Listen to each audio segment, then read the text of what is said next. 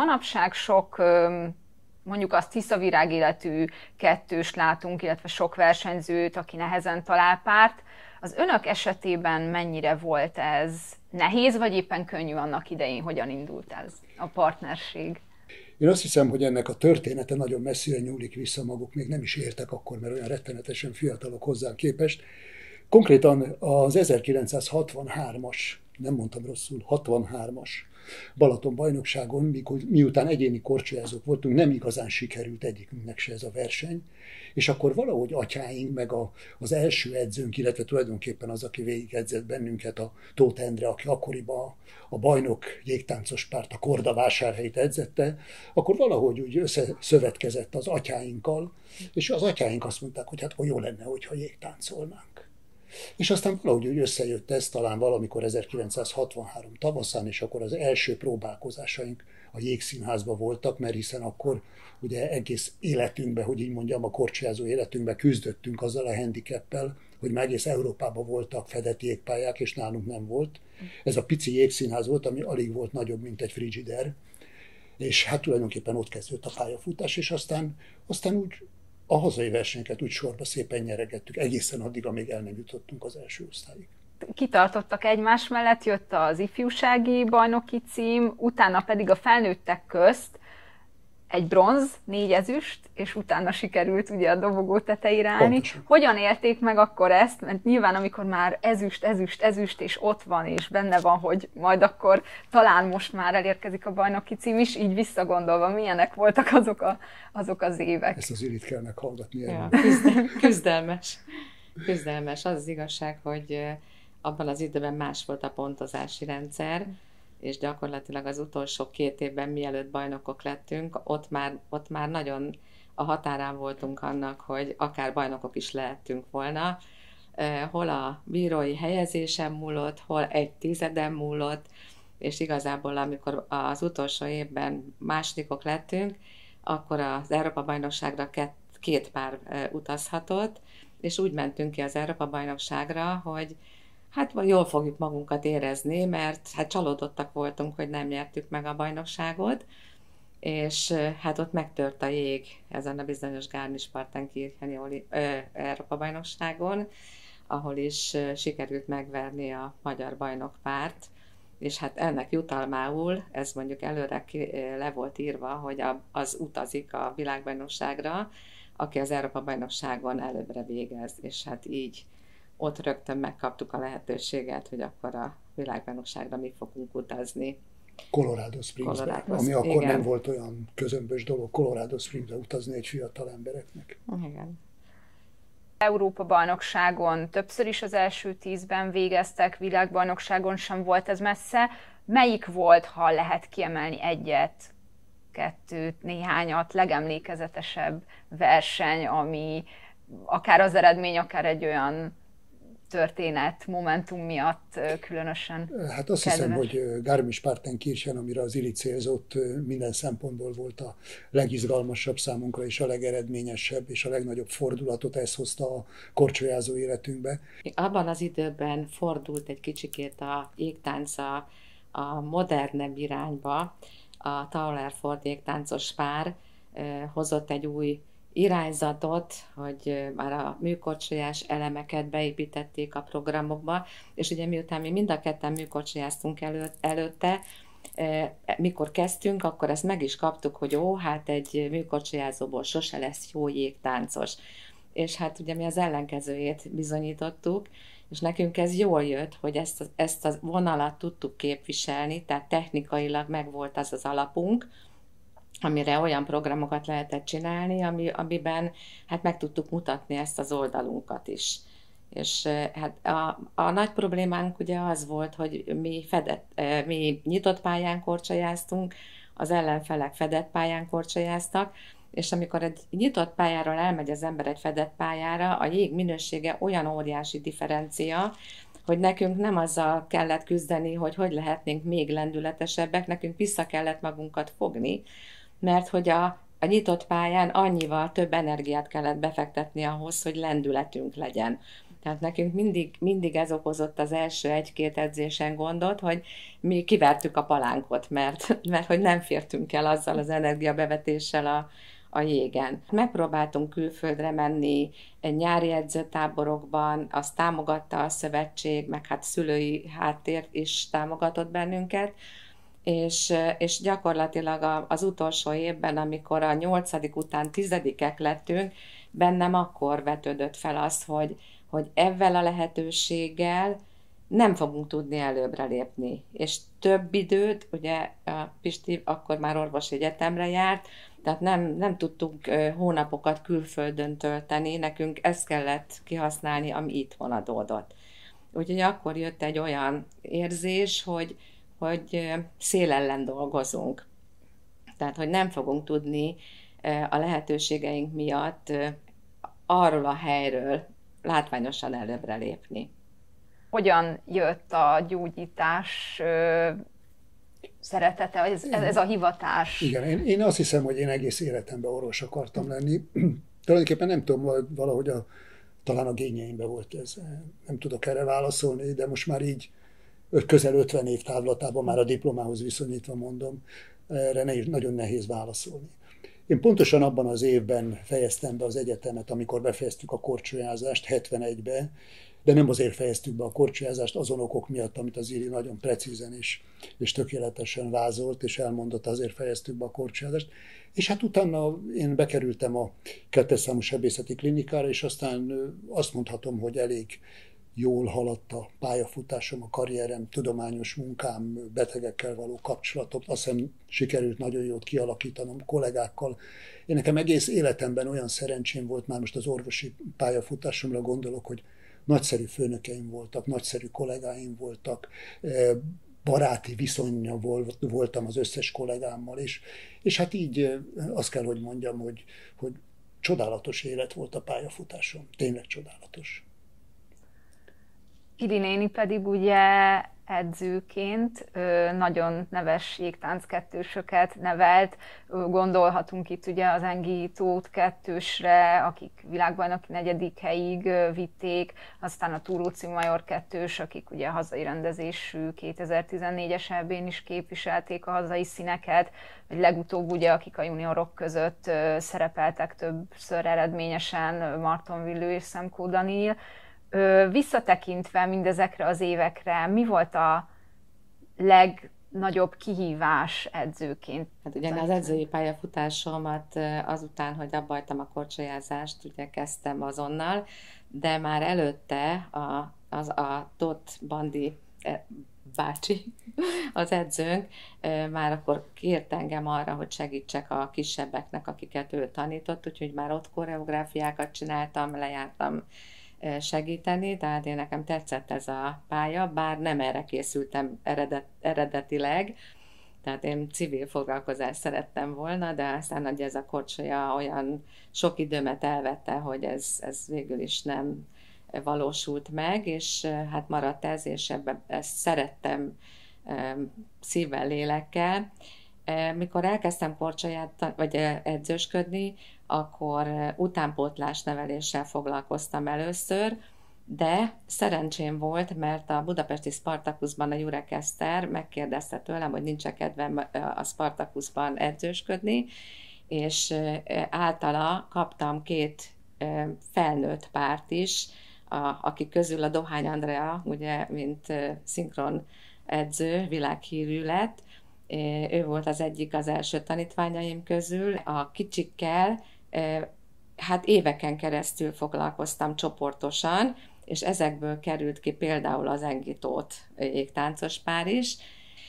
Egy, egy párt nem említettünk, és az fontos azért, a, azt hiszem az edzői pályafutásom alatt, a Péter Judit Bálint Csaba páros, akik a leg, ez első legeredményesebb jégtáncos párom volt, hiszen ők junior világbajnokságon másodikok lettek. Tehát ugye azért ez abban az időben nagy szó volt, mert oroszokkal kellett megküzdenünk, és hát kemény csaták mentek a bírók között, erről tudna az István mesélni. mert hogy ő amellett, hogy orvos lett, amellett ugye maradt a jégnél, mint pontozó bíró, úgyhogy számos versenyen voltunk együtt, úgyhogy mint edző, ő pedig mint pontozó bíró. De hogy visszatérjek mondjuk erre az edzői munkára, hát mindig meg kellett újulni. Én mindenhova mentem, ahova lehetett. Oberstdorf egy olyan bázisa a jégtánc nemzetközi világnak, ahol nagyon-nagyon jó edzőkkel sikerült együtt dolgoznom, illetve tanulnom tőlük.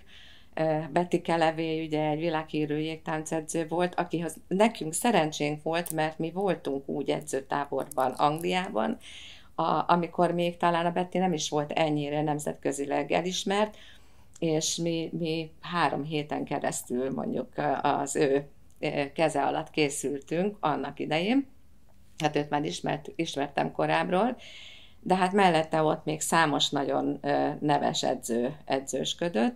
Nem csak Oberstdorfban voltam, hanem az oroszokkal is jó kapcsolatom volt, Natasa Dubovával kifejezetten baráti kapcsolatba kerültem, és ő például az Engitótnak az első ismert kűrjét a macskák zenéjére, ő koreografálta, vagy akár Taraszovával is szintén sikerült egy ilyen baráti kapcsolatot kialakítani, tehát én jártam Moszkvába is edzőtáborba, ismertem az orosz iskolát is, ismertem az angol iskolát is, és ezért mondom, hogy mindenből szeret, leszűrtem azt, amit úgy gondoltam, hogy, hogy hasznára válhat annak, hogy, hogy minél eredményesebbek legyünk. A későbbi generációkkal ugye ennél volt nehezebb már, hogy nem az elhivatottság hiányzott belőlük, meg a kitartás sem, de a nehézségeket talán nehezebb áthidalni velük, mint a korábbi generációkkal.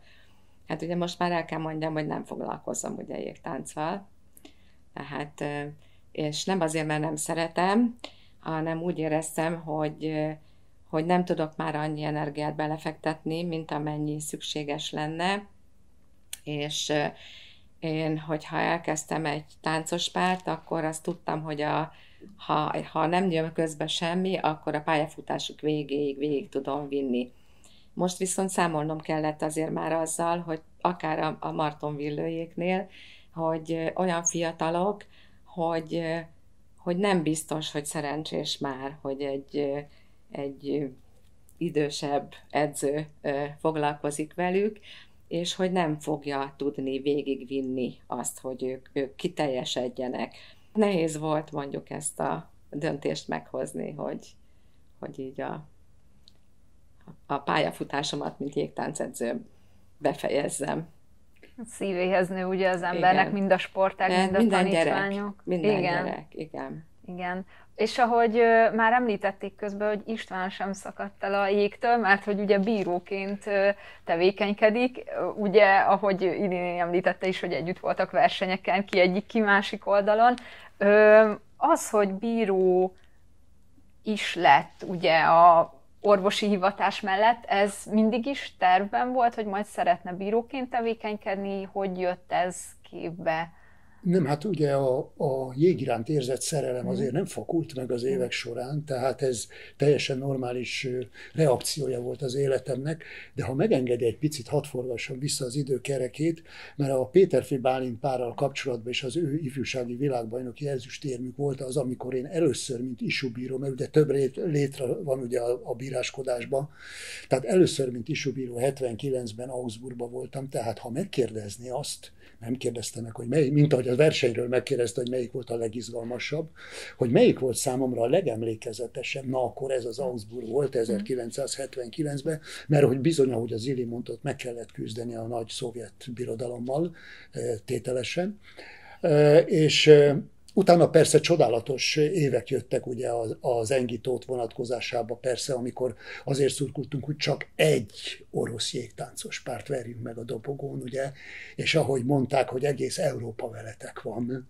ugye, de hát nem sikerült. Na mindegy, ez nem is lényeges. Szóval én azt gondolom, hogy, hogy nagyon sok olimpián, világversenyen közreműködtem, és nagyon jó volt utazni a versenyzőkkel, és hát az külön varást adott a dolognak, hogy az illik párjaival mehettem és pontozhattam őket, úgyhogy, úgyhogy ezek nagyon szép. Ez a hab volt a tortán az életemben, szóval ez nagyon klassz volt. Sajnos már nem csinálhatom, mert ugye van egy szigorú szabály, nem tudom, el lehet árulni, hogy én hány éves vagyok, az Iri 10 évvel fiatalabb, de, de én 73 éves vagyok, és 70 éves korba az embert kiveszik a, a nemzetközi lista. Ez egy szabály, ugye ezen nem lehet áthágni, tehát azóta nem pontozhatok, de addig szinte rengeteg világverseny, nem is tudnám felsorolni, hogy hány versenyen pontoztam, és ez nagyon jó volt. Szóval egy évben azért kétszer, háromszor, négyszer is elutaztam nagyobb versenyekre. Ezek nem voltak ugye hosszú időtartamúak, tehát ez a pályafutásomat, a, a szakmai pályafutásomat, pályafutásomat nem befolyásolta, viszont szint hozott az életembe. Hát ha valamit mondhatok még, ugye, hogy, hogy amikor mi korcsolyáztunk, akkor még nem volt olimpiai száma jégtánc. És hát szerintem a Pistinek is, de nekem biztos, hogy a legnagyobb élményem a, az olimpián való részvétel, mint edző, az jelentette a, a legnagyobb élményt. Tehát azt mondhatom, hogy akkor éreztem azt, hogy ez is egy sport. Tehát ugye mindig azt mondták, hogy mert ez művészet persze egyik oldalról, de hogy, hogy sportolónak éreztem magam, nem úgy, mint korábban, hogy ez egy ilyen nagy színház tulajdonképpen, és, és az olimpia volt az, ahol, a, ahol a, az a rengeteg különböző sporták, sportolói, val való találkozás, az egy, ez egy nagyon-nagyon nagy élmény volt. Tehát ugye így és hát mind a három olimpián tulajdonképpen úgy voltam, mint edző, hogy ő volt a fontozó bíró. ez egy, ha nem is, ment, nem is tudtunk együtt olimpián indulni, de mégiscsak voltunk olimpián közösen. Igen. Igen, kéz a kézben, úgymond még Igen. a, a pálya, versenyzői pályafutás befejezése után is.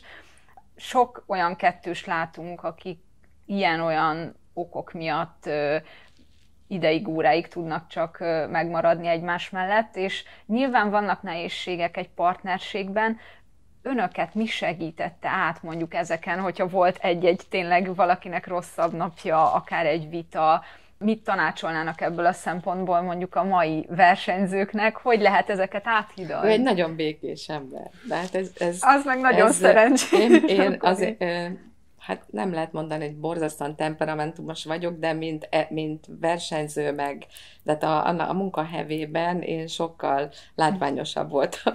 A csiszolódásunkhoz járult hozzá elsősorban. Én pedig megpróbáltam megfelelni az elvárásainak, úgyhogy ezen dolgoztam tíz éven keresztül. Ja, de hát igen, ez, ez mondjuk sokat segített. Tehát nem a, hát a legnagyobb probléma az, hogy két erős egyéniség úgy korcsolyázik együtt, hogy, hogy nem tud ö, engedni a, a másiknak, vagy nem tudja elismerni azt, hogy most neked van igazad. Hogy abból nem lesz semmi, hogyha azt próbáljuk ö, ö, mutatni, hogy én vagyok az erősebb. Tehát abból, abból semmi nem születik. És ezt a fajta összecsiszolódást ugye még inkább talán, mivel csapatsportról beszélünk, meg kell valósítani a szinkron korcsolyában, hát amivel ugye manapság egyre újra, újra igen, és intenzíven foglalkozik. A szinkron korcsolya hogyan kapott akkor újra teret, vagy hogyan jött, jött be egyáltalán így hát Igen, ezt nem szinkron. tudom, ezt tudni kell ugye, hogy a lányom is jégtáncolt, és ő is nemzetközi szinten jó eredményeket ért el és amikor abba hagyta a, a korcsolyázást, akkor elkezdett edzősködni, és az utánpotlás nevelésben nekem nagy segítségem volt. Nagyon jól ért a gyerekek nyelvén, és, és ezt nagyon szívesen csinálta de a jégtánc mellett ő szinkronkorcsolyázott. Abban az időben kezdődött Magyarországon az, hogy, hogy volt már szinkron csapat, de nemzetközileg nem voltak eredményesek, és valakinek, ezt őszintén nem tudom megmondani, kinek az ötlete volt, hogy próbáljanak meg engem megkeresni, mert ha két embernek az együttműködését, az összecsiszolását ugye meg tudom oldani, hát ha tudok segíteni abban, hogy mondjuk nem két ember, és abban az időben még 24-en voltak egy csapatban, és később pedig 20 most már csak 16-an, hogy akkor, akkor próbáljak meg velük foglalkozni. Úgyhogy én ezt teljesen a nulláról kezdtem el tanulni, csak felhasználtam azt a tudásomat, amit mondjuk így a jégtáncban megszereztem, és nagyon szívesen csináltam hosszú éveken keresztül. Aztán valahogy úgy hozta a sors, hogy, hogy, a, hogy sok volt, tehát nem, nem fért bele az életembe, és, és azt abba hagytam. A lányom viszont nagyon szereti, és évek óta most már után, folytatta az utánpótlás nevelést, és nagyon sok gyerekünk van az Egyesületben, és ez volt a legkézenfekvőbb, hogy miután kevés a kisfiú, hát akkor csináljunk szinkron korcsolyát, úgyhogy most már ott tartunk, hogy van most úgy tűnik, hogy most már juniorban induló csapatunk, basicben induló csapatunk, tehát összesen már szinte négy kategóriában tudunk csapatot kiállítani, és hát most így egy ilyen családi összefogással, ugye most megint együtt dolgozunk. Istvánéknál hogyan alakult ez a családban? Sikerült át örökíteni ezt a korcsolya? Erre nem lehetek büszke, mert ez nem sikerült, mert a fiaim közül ugye a, a kisebbik fiam, ugye, aki Beri néven nagyon sokáig énekelt, ugye a Váci Eszterrel, az volt a leghíresebb számuk az egyedül. Aztán abba hagyta az éneklést, mert úgy gondolta, hogy ez nem elégíti ki őt, és aztán egész életében nagyon izgatta őt a jogázás, és most egy nagyszerű jogatréner, azt lehet mondani, hogy Budapest egyik legfelkapottabb jogatrénere lett. A nagyobbik film az pedig a Bécsi szimfonikusoknál kürtös, és azon kívül a Gráci Zeneakadémián tanít, úgyhogy ők kinélnek Bécsbe, és van egy unokám, aki 14 éves és nagyszerűen zongorázik, és ő karmester akar Akkor lenni. a zenei vonalon. Igen, és hát ugye a... A, a, a művészet igen, így megy. Igen. És a, a mennyem pedig egy hegedű művész, ugye a Korcsolán Orsa, úgyhogy én hozzá se tudok szólni ezekhez a dolgokhoz, viszont egyik se korcsolyázik. Így történt. Hogyan látják a jégtánc mai helyzetét? Én, én szeretem egyébként, hogy változott. Persze nem mindennel értek egyet, és hát én is elvégeztem a, technikai specialista továbbképzést az isuban, pontosan azért, mert hogy én is szerettem volna, hogyha első kézből ugye tudom az új szabályokat, hát sokszor követhetetlen. Számolás lett az, az egészből, és, és mondjuk én szerintem ez a néző számára, amikor a pontozást látja, vagy megjelenik egy eredmény, ezt nem igazán tudja követni. Tehát most, most ugye kiírják már a felső csücsökben, hogy a vezető pár éppen hol tartott ennél az elemnél, na de ettől még nem követhető. Akkor lehetett szitni a bírót, hogy, hogy miért adott olyan keveset, vagy, vagy tudta azt, hogy melyik bíró adta, mennyit adott. Hát ilyen szempontból szerintem egy kicsit nehezebb a, a dolog. Most ugye tulajdonképpen azáltal, hogy kötelező elemek voltak, teljesen szét van szedve az egész jégtánckűr, olyan értemben a bíró számára, hogy azt várja a bíró, hogy mikor következik be az az elem, ami a papírjára föl van írva. Mindig azt szoktam mondani a továbbképzéseken, hogy nagy a veszély, hogy az ember a fától nem látja az erdőt. A régi szisztémával mondjuk a világbajnokságnak vagy az Európa-bajnokságnak az első 8-10 futójának a koncepciójára, hogy hogy mozogtak, évek múlva vissza tudtam emlékezni. Amikor bejött ez az új szisztéma, akkor legfeljebb arra emlékeztem, hogy milyen jó emelést csinált ez vagy az a pár, de az egész körre nem tudtam úgy visszaemlékezni, mert szét az, az agyamba szétdaraboltam a verseny alatt tulajdonképpen azokat a tételeket, amiket külön-külön le kellett pontozni. Mit tanácsolnának így zárszóként a mai fiataloknak, akik a jégtáncot választják? A jégtáncról biztos tudom mondani, hogy ez egy olyan nagy szerelem, de nagyon, nagyon göröngyös az út.